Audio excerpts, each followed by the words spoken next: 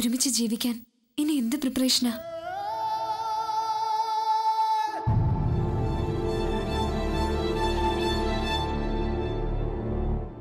നേരത്തെ വിളിച്ചപ്പോഴും ഞാൻ ശ്രദ്ധിച്ചിരുന്നു. ആദ്യക്ക് എന്ത് പറ്റി? ഒന്നുമില്ല. അല്ല എന്തോ മനസ്സിലുണ്ട്. പറയേ.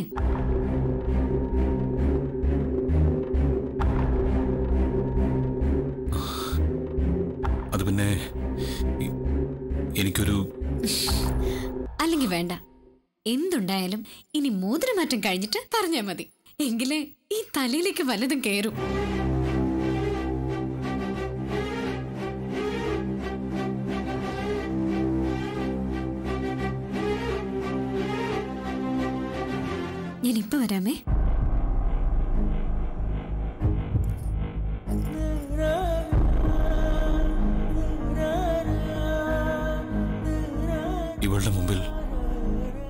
വീണ്ടും തോറ്റുപോവാണല്ലോ ഇതെന്ത് പരീക്ഷണം?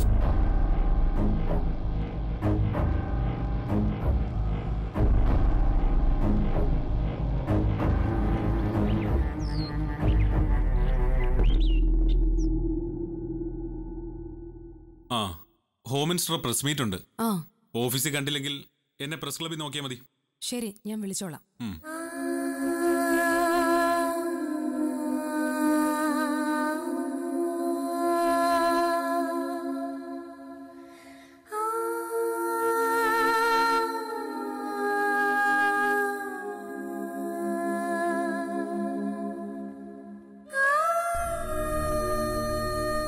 പതിവ് പോലെ താൻ ഒരുപാട് ബിസി ആവാതെ ഇവിടെ ഒന്ന് മാനേജ് ചെയ്യും. സിറ്റിയിൽ വരുന്ന ആദ്യമായിട്ടാണെന്ന് തോന്നുന്നു. കഴിക്കാൻ വല്ലതും കൊടുത്തോ? പിസ ഇരിപ്പുണ്ട് ഇവിടെ. കഴിക്കോ ആവോ?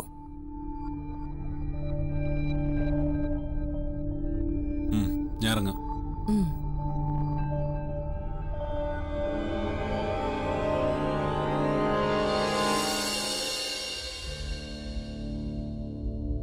ഇവിടെ ഇഷ്ടമായോ കസ്തൂരിക്ക്?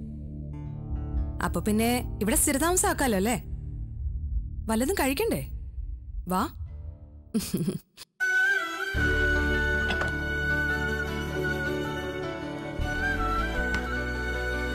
വല്ലപ്പോഴേ കിച്ചണിൽ കയറാറുള്ളൂ ഞങ്ങളുടെ ഭക്ഷണമൊക്കെ പുറമേന്നാ. കസ്തൂരിക്ക് ഇതൊക്കെ ഇഷ്ടാവോ എന്തോ? ഒന്ന് ഫോൺ ചെയ്താ മതി. അഞ്ചു മിനിറ്റിനകം സാധനം റെഡിയാ. പിസയാ കഴിച്ചോ?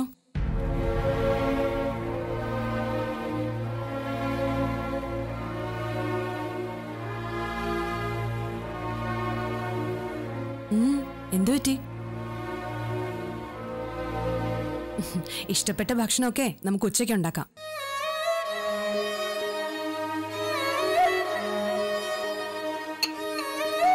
പാചകമൊക്കെ അറിയാവോ കസ്തൂരിക്ക്? എന്ത് പറഞ്ഞാലും തലയാട്ടും. കിള്ളക്കുട്ടി. ഇരിക്കെ.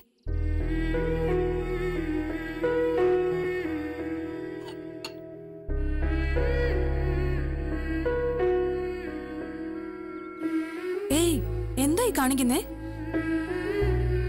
നിലത്തിരിക്കുക. വാ ഇവിടെ കസേര വന്നിരുന്ന് കഴിക്കേ. നമ്മുടെ അവിടെ ഇതാ ശീലം. ആ ശീലമൊക്കെ ഇനി മാറ്റണം.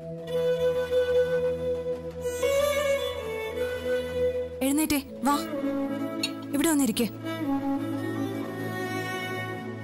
അതെ പേടിക്കാതെ കഴിച്ചോട്ടോ ഇവിടെ ആരും നിന്നെ ഉപദ്രവിക്കാൻ വരില്ല. കഴിക്കേ കഴിക്ക്.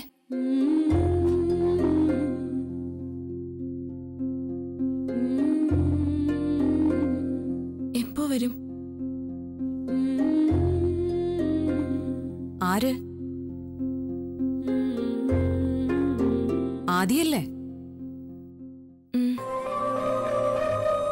അയാൾ ഇതിലും പ്രധാനപ്പെട്ട ഒരു കാര്യത്തിന് പോയിരിക്കല്ലേ കഴിയുമ്പോ വരും.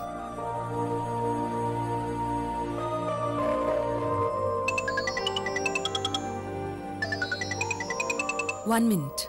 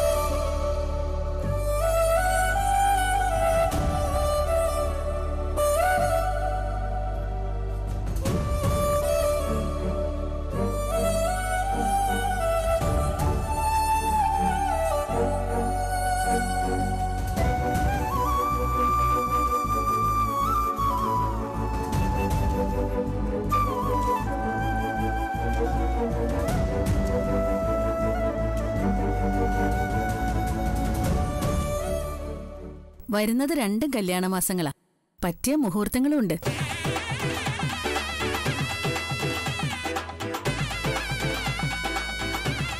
അതെ. ഇനി എന്തിനാ അധികം വൈകിക്കുന്നത്? രണ്ടുപേരുടെയും ശാപം വാങ്ങി വയ്ക്കണ്ട എന്നാണ് എന്റെ പക്ഷം ധൃതി വേണ്ട. സമയം ഇഷ്ടം പോലെ ഉണ്ടല്ലോ.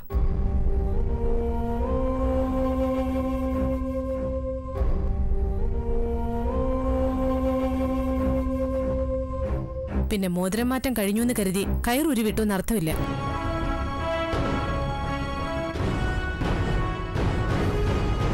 വധുവും വരനും കേൾക്കാനാ ഞാൻ ഈ പറയുന്നത്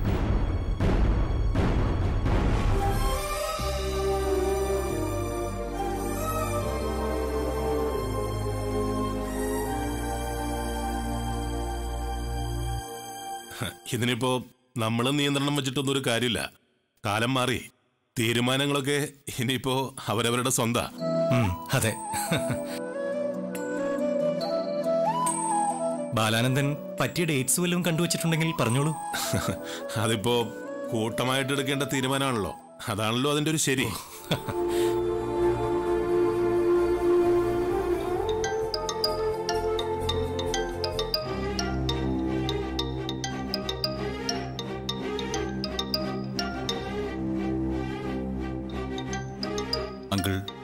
Just minute please carry on ദേ വീണ്ടും തുടങ്ങി. പത്രക്കാരന്റെ തിരക്കേ.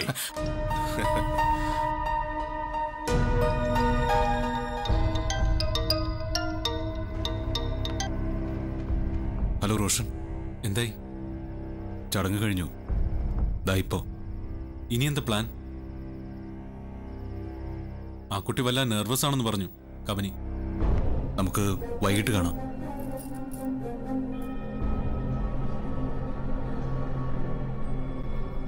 വീട്ടിലല്ല. പുറത്തെവിടെയെങ്കിലും വെച്ച്. കബനിയോടും പറഞ്ഞേക്ക്. ശരി. Bye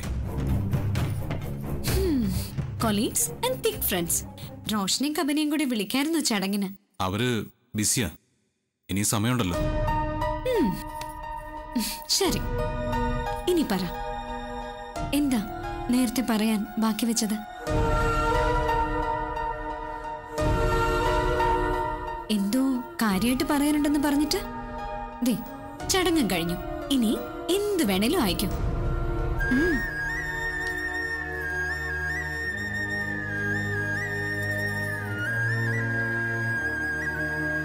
ഈ ചെറുക്കന് ഇത് എന്ത് പറ്റി ഈശ്വര. നല്ലതായാലും ചീത്തയായാലും ഈ റാണിക്ക് ഇനി ഒരുപോലെ. പറയാതെ. അതെ. സംസാരമൊക്കെ ഇനി വല്ലതും കഴിച്ചിട്ട്. അവിടെ വിളിക്കുന്നു. രണ്ടുപേരും വന്നേ. ഇതാ വരുന്നോ പോളെ. ഇനി സദ്യ ഉണ്ടിട്ട് ബാക്കി. ആദ്യം വന്നേ.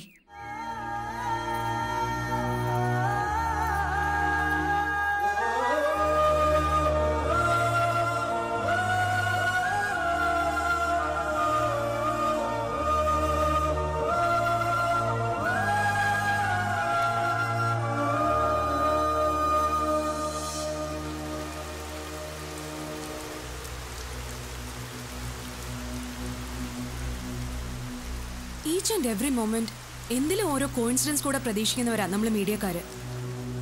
പക്ഷേ ഇത് സത്യത്തിൽ എന്താ ആദ്യം സംഭവിച്ചത്? എഡിറ്റർ ജേക്കബ് സാർ തന്ന ചലഞ്ചിങ് അസൈൻമെന്റിനെ പറ്റി നിങ്ങൾ കൂടി അറിയാവുന്നതല്ലേ? പൂമ്പാറയിലെ വെറുമൊരു മാര്യമ്മൻ കോവിൽ ഉത്സവം കവർ ചെയ്യാൻ തന്നെ പോലൊരു ലീഡിംഗ് ജേർണലിസ്റ്റിന്റെ ആവശ്യമില്ലെന്നറിയാലോ? ഞാൻ പറഞ്ഞു വരുന്നത് കേരള കർണാടക പോലീസ് ഫോഴ്സ് ഇക്കാലം അത്രയും തലകുത്തി മറിഞ്ഞിട്ടും തൊടാൻ പോലും പറ്റാത്ത വിപ്ലവ നേതാവ് മാസി എന്ന മാധവൻ ഈ വരുന്ന ഉത്സവത്തിന്റെ മറവിൽ ഇടത്താവളമായ പൂമ്പാറയിൽ എത്തുന്നു എന്നാണ് രഹസ്യവിവരം. നമുക്ക് വേണ്ടത് ഇതുവരെ ആർക്കും കിട്ടാത്ത അയാളുടെ എക്സ്ക്ലൂസീവ് ഇന്റർവ്യൂ അതായത് പണ്ട് കാട്ടിൽ വീരപ്പനെ തേടിപ്പോയ നക്കീരൻ ഗോപാലിന്റെ കുപ്പായം. ക്വയറ്റ് ഇൻട്രസ്റ്റിംഗ് ഒറീസ വാറങ്കൽ അങ്ങനെ ഇന്ത്യയിലെ വിപ്ലവത്തിന്റെ വേരുകളുള്ള സകലയിടത്തും ഇയാൾക്ക് ബന്ധമുണ്ട്. മാസി ഒന്ന് പൊക്കിയെടുക്കാൻ പറ്റിയാൽ നമ്മുടെ റീഡർഷിപ്പ് കൂടും. കരിയറിൽ ആദിക്കും ഗുണം ചെയ്യും. ഡെഫിനറ്റ്ലി പിന്നെ പത്രത്തെയും പത്രക്കാരനേക്കാളും ഉപരി അയാൾക്ക് പറയാനുള്ളത് കൂടി ലോകം അറിയണ്ടേ? പത്രത്തെയും പത്രക്കാരനേക്കാളും ഉപരി അയാൾക്ക് പറയാനുള്ളത് കൂടി ലോകം അറിയണ്ടേ? പോകാൻ ഞാൻ തയ്യാറാണ് സാർ. ഗുഡ് പക്ഷെ സൂക്ഷിക്കണം. കടുവാക്കൂട്ടിലേക്കാണ് താൻ കയറി ചെല്ലുന്നത്. പൂമ്പാറ ഫോറസ്റ്റ് റേഞ്ച് വില്ലേജസിന്റെ എല്ലാ സഹായവും ഉണ്ടാവും തനിക്കവിടെ. സർ. ഇതുപോലെ ഇടയ്ക്കിടയ്ക്ക് രായിക്കൊണ്ടിരുന്നില്ലെങ്കിലേ തന്നെപ്പോലുള്ള ജേർണലിസ്റ്റുകൾ തുരുമ്പെടുക്കൂടു I will take it as a challenge okay all the best thank you sir Poompara ഉൾനാടൻ ഗ്രാമം. വിപ്ലവകാരി മാസി എന്ന മാദേവൻ ഒരു ഇന്റർവ്യൂവിൽ കൂടുതൽ എന്തുണ്ടായി അവിടെ? പലതും ഉണ്ടായി. നമ്മളെല്ലാം കരുതും പോലെ വെറുമൊരു ഗ്രാമം മാത്രമായിരുന്നില്ല പൂമ്പാറ. കേരള കർണാടക ബോർഡർ. ചെക്ക് പോസ്റ്റിൽ നിന്ന് ഇരുപത്തഞ്ച് കിലോമീറ്ററോളം ഉള്ളിൽ കിടക്കുന്ന എല്ലാ രീതിയിലും ടിപ്പിക്കലായ ഒരു ട്രൈബൽ ഏരിയ.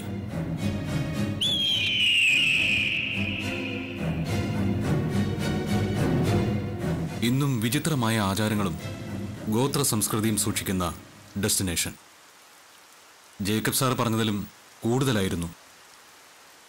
നേർക്കാഴ്ച.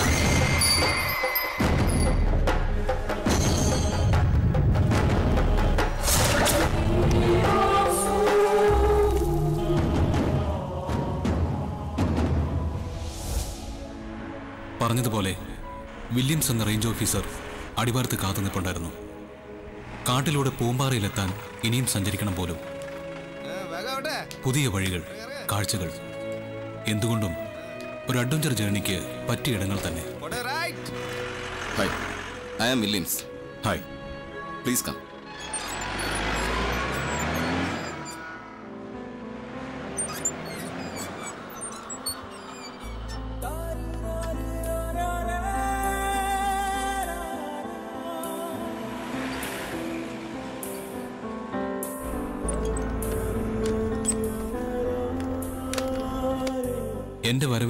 ഉദ്ദേശ്യം. പൂമ്പാറ എന്ന ഗ്രാമത്തെക്കുറിച്ച് അറിയുക മാത്രമല്ല അവരുടെ തലവനായ മാസിയെ കാണുക എന്നതാണെന്ന് ഞാൻ പറഞ്ഞപ്പോൾ ചിരിച്ചുകൊണ്ടാണ് വില്യംസ് മറുപടി പറഞ്ഞത്. കൊള്ളാം. മാസി എന്ന മാദേവനെ ഒന്ന് കാണണം. ഒരുമിച്ചൊരു ചായ കുടിക്കണം. പിന്നെ കൂടെ നിന്നൊരു ഫോട്ടോ എടുക്കണം. സാറ് രണ്ടും കൽപ്പിച്ച് തന്നെയാ വരവല്ലേ? ജോലി ഇതായി പോയില്ലേ റേഞ്ചർ സാറേ? സഹായിച്ച് ഒന്ന് കൂടെ നിൽക്കണം. അയ്യോ ജീവൻ പണയം വെച്ചുള്ള സാഹസത്തിനൊന്നും ഞാനില്ലേ? ഞങ്ങൾ ഫോറസ്റ്റും പോലീസും കഴിഞ്ഞ അഞ്ചു വർഷമായി കിണഞ്ഞു ശ്രമിച്ചിട്ടും നടക്കാത്ത കാര്യമാണ്. ഒരുപാട് ബുദ്ധിമുട്ടേണ്ടി വരുമല്ലോ.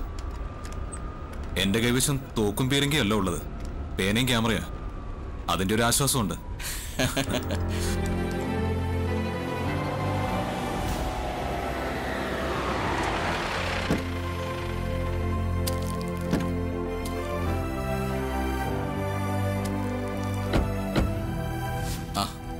ഇനി അങ്ങോട്ട് നടക്കണം.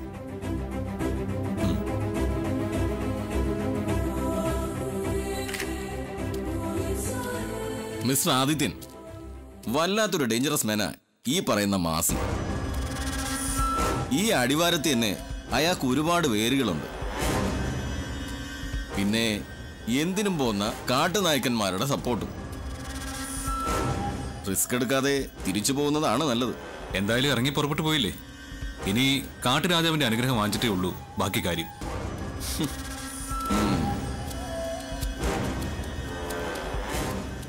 ആ വരുന്നവൾ ചിലപ്പോൾ നിങ്ങൾക്ക് ഗുണം ചെയ്യും. ഈ പറയുന്ന മാസിയുടെ വളർത്തു മകളാണ്.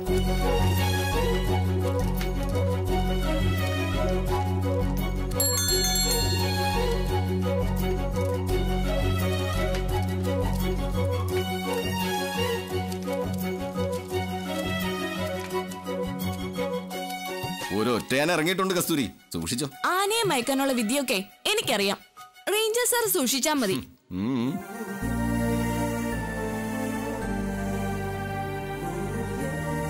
ഇതാരാ സാറേ? പടം പിടിക്കുന്ന ആളാ? പടവും പിടിക്കും. പത്രത്തിൽ നിങ്ങളെ കുറിച്ച് എഴുതുകയും ചെയ്യും. എന്താ വേണോ? പത്രാസ് കണ്ടപ്പോ തോന്നി. പട്ടണത്തിൽ നിന്നാണല്ലേ? അതെ. ഒരു പടം എടുക്ക് സാറേ. അക്ക ഒന്ന് കുളൂസേ നിന്നേ. എടുത്തോ എടുത്തോ എടുത്തോ.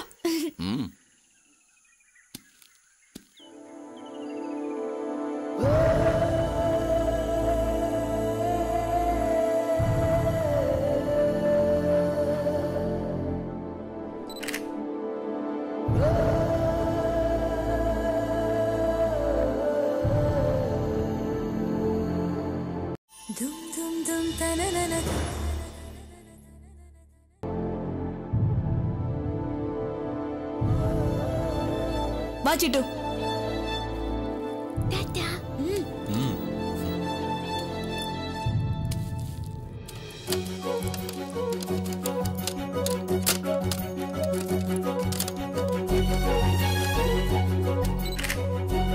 കസ്തൂരി വില്യംസ് പറഞ്ഞതുപോലെ മാസിയുടെ വളർത്തുമകൾ അവൾ അയാളിലേക്ക് എത്താനുള്ള ഒരു ചൂണ്ടുപലക തന്നെയായിരുന്നു. പിന്നീട് കൂടുതൽ അടുത്തപ്പോൾ അത് എളുപ്പമാണെന്ന് പകൽ വെട്ടം പോലെ ബോധ്യമായി.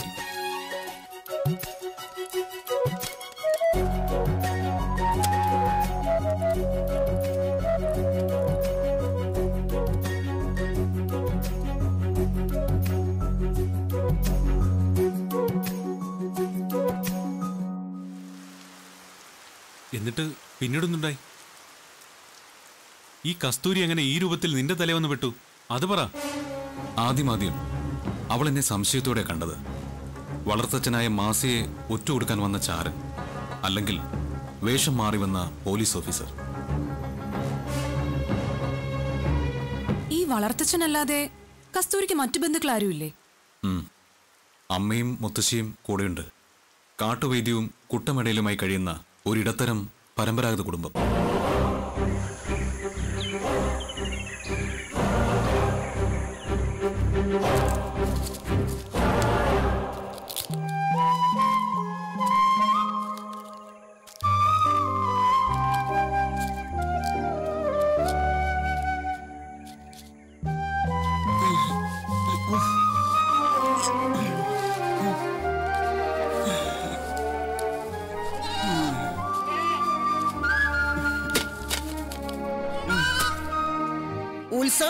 പരദേശികളൊന്നും തുടങ്ങിയെന്ന്.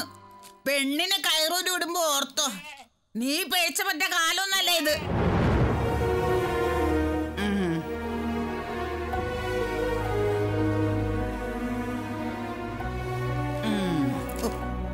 മടിയിൽ വെക്കുന്ന പ്രായമൊന്നല്ല. മുതിർന്ന പെണ്ണാ. ആ. അമ്മയ്ക്കിപ്പൊ എന്താ വേണ്ടത്? കുറുന്തോട്ടി കിട്ടാനേ പാമ്പാടി കുന്നുവരെ പോയി വരിക. ഉള്ളിലെ കാളൽ മാറ്റാൻ അടുപ്പത്ത് വലുതുണ്ടാവോ കഞ്ഞി ഉണ്ടാക്കി വെച്ചിട്ടുണ്ട്. പെണ്ണ് കപ്പ കൊണ്ടുവന്ന പുഴുക്കുണ്ടാക്കി തരാം. എന്നിട്ട് എവിടെ നിന്റെ പെണ്ണ്? ഓ തെണ്ടി തിരിഞ്ഞ് നടക്കണുണ്ടാവും. അമ്മ ഇരുകണ്ടം ചാടിയാൽ മകൾ മറുകണ്ടം ചാടില്ലേ? ഏരെണ്ണം കെട്ട വർഗങ്ങൾ അവളെ കാക്കാൻ അവക്കറിയാം.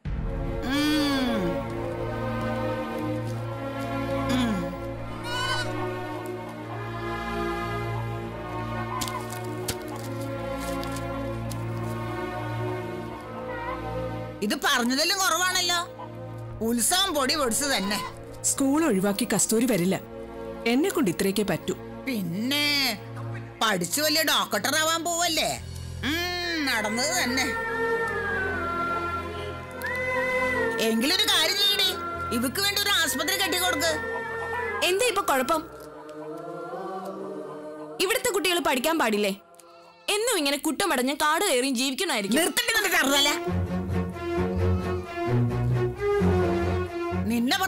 കാര്യമില്ല എന്തിനു പോന്നൊരു തള്ളയും കൊഞ്ചിക്കണ്ടൊരു വളർത്തച്ഛനും.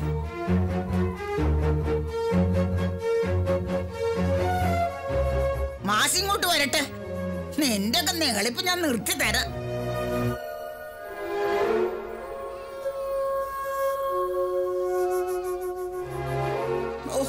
വയറ് കാളിട്ട് വയ്യ മനുഷ്യന്. ഓഹ് ഇതിനി എപ്പ ആവാനാ?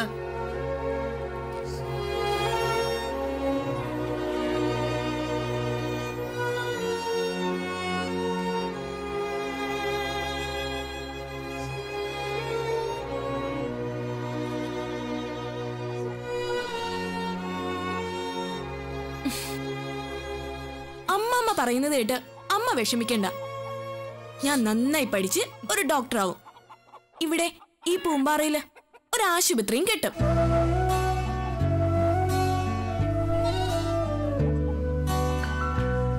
നമുക്കും ഒരു നല്ല കാലം വരും. എപ്പോഴും ഇങ്ങനെ ജോലി ചെയ്ത് തളരാതെ അമ്മാമ്മയുടെ വഴക്ക് കേൾപ്പിക്കാതെ എന്റെ അമ്മയെ പൊന്നുപോലെ നോക്കും ഞാൻ.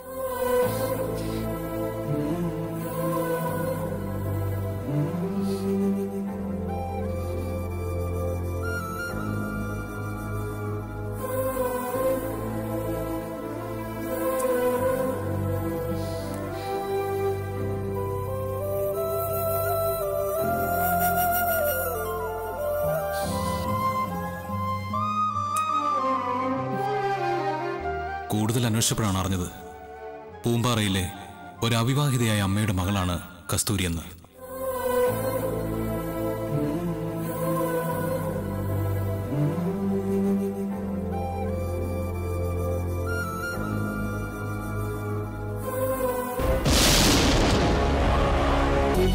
അപ്പ ഞാൻ പറഞ്ഞ കേക്കും. ഇന്റർവ്യൂ തരുകയും ചെയ്യും. ഇതുകൊണ്ട് കസ്തൂരിയുടെ അപ്പയ്ക്ക് ഒരു ദോഷം ഉണ്ടാവില്ല എന്ന് ഉറപ്പു തരുന്നു ശരിക്കും അയാൾ പോലീസിനെ അറിയിച്ച് ചതിക്കായിരുന്നല്ലേ